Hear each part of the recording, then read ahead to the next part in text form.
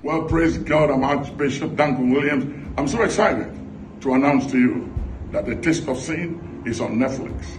I need you right now. Go online, connect, share it, tell friends, loved ones all over the world. Share it right now. Tell them we are on Netflix. It's your movie.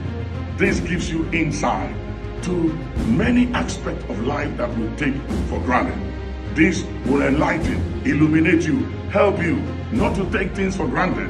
It tells you about the consequence of all that we do in life. Taste of Sin is on Netflix. Watch it right now. Go online. This is Archbishop.